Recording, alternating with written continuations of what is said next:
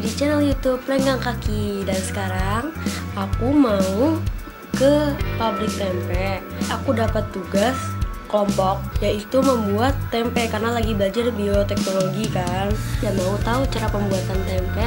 Ikutin terus ya.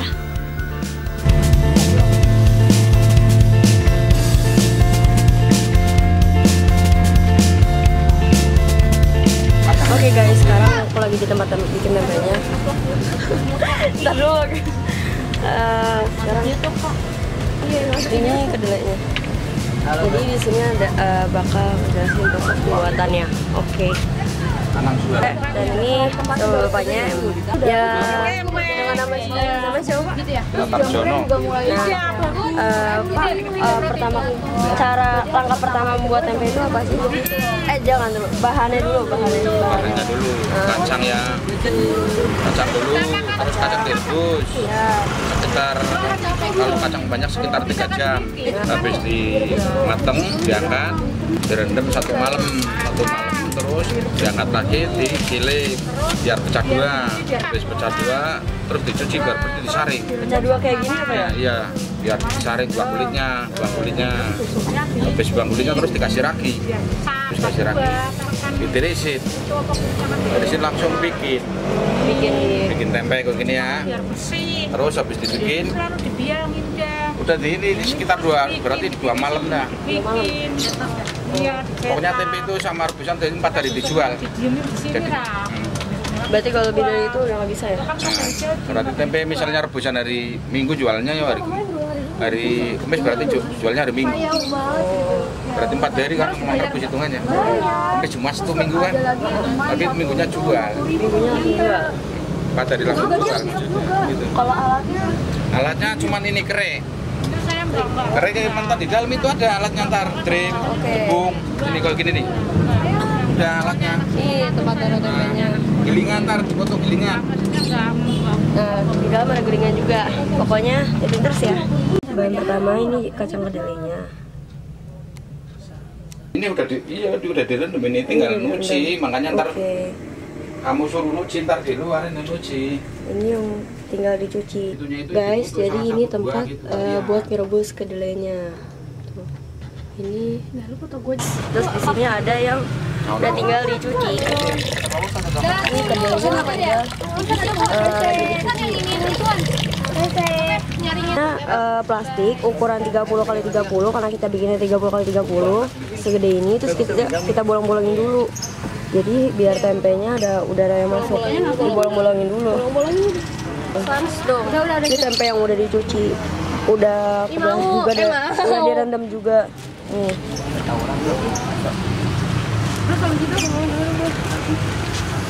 Ini nggak ada yang bantuin gua apa? Di atas pada.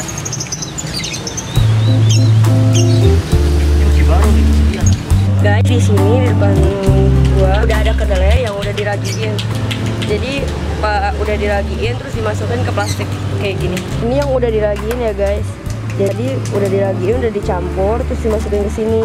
Dan nanti dirapetin gitu eh, kayak dipakein api itu kan jadi rapet tuh. Nah habis itu dibolong-bolongin, dibolong-bolongin, dihitung, didiemin selama sehari semalam.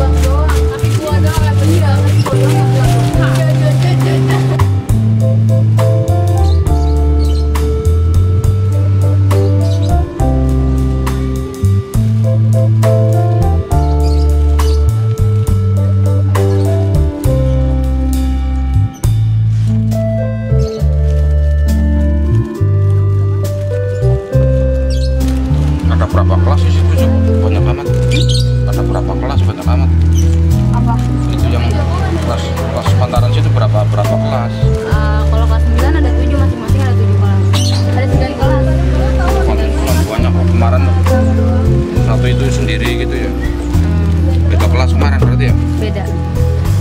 Itu rombongan enam guys jadi cara pembuatan itu satu cuci kedelai kedelainya di belakang tadi ada. Nah terus habis itu di direbus direbus. Nah, terus habis direbus itu direndam berapa malam gitu. Jadi biar ya, biar kulitnya itu melepas nah habis itu digiling ya digiling. Nah. biar kedelainya itu kebelah, kebelah jadi dua Nah baru baru dicuci lagi. Tadi kayak di depan dicuci lagi. Nah terus tadi setelah digiling kebelah jadi dua. Nah terus eh, dicuci ya, dicuci lagi. Habis itu dikasih ragi, diaduk. Habis itu dimasukin ke plastik ya? Plastik, atau di daun gitu. dicetak. Nah, tapi sebelumnya plastiknya itu dibolong-bolongin dulu biar terlebih dahulu biar apa tuh? udaranya udaranya masuk masuk ke dalam. jadi bolongnya jangan satu sisi bolonginnya di semua sisi. Nah nanti pas udah kedelainya dimasukin sama raginya. nanti di apa sih? Di apa? Di apiin gitu pokoknya jadi nempel gitu. Eh, plastiknya jadi nempel gitu. Terus setelah di tempel eh, pokoknya udah jadi di bentuk lah ya udah dibentuk dicetak nanti Nanti di tinggal didiemin doang. dua atau enggak sampai empat hari. Ah tiga hari deh. Tiga hari empat hari kelamaan. Ya tiga hari. nah terus Nanti itu itu ditaruhnya itu di atas, Di atas. yang tempat sirkulasi udara tuh yang lancar. Jadi dari bawah masuk dari atas masuk dari samping juga masuk, Masuk.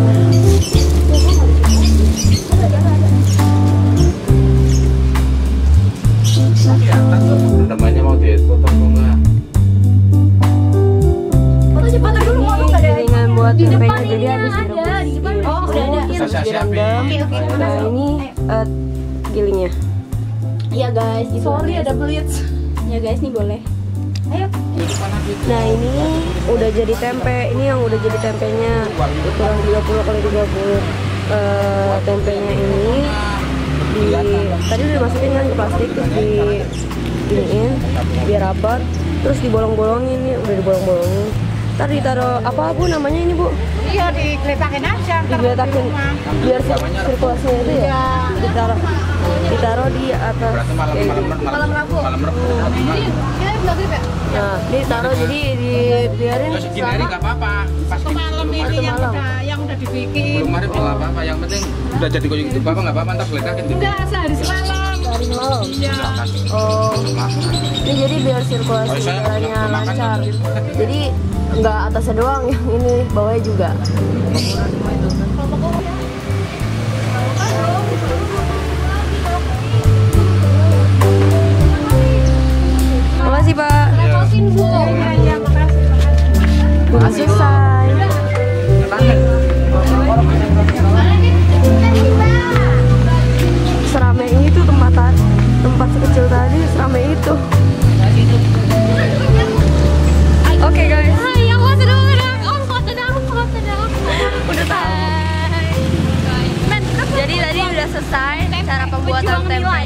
Pejuang nilai.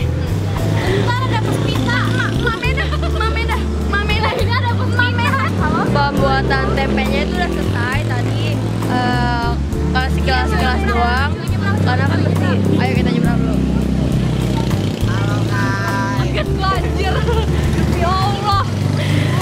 Tadi ngeliputnya sekilas sekilas eh, dari mulai nyucinya, terus habis nyuci direbus, direbus, direndam, direndam, digiling, baru dicuci lagi.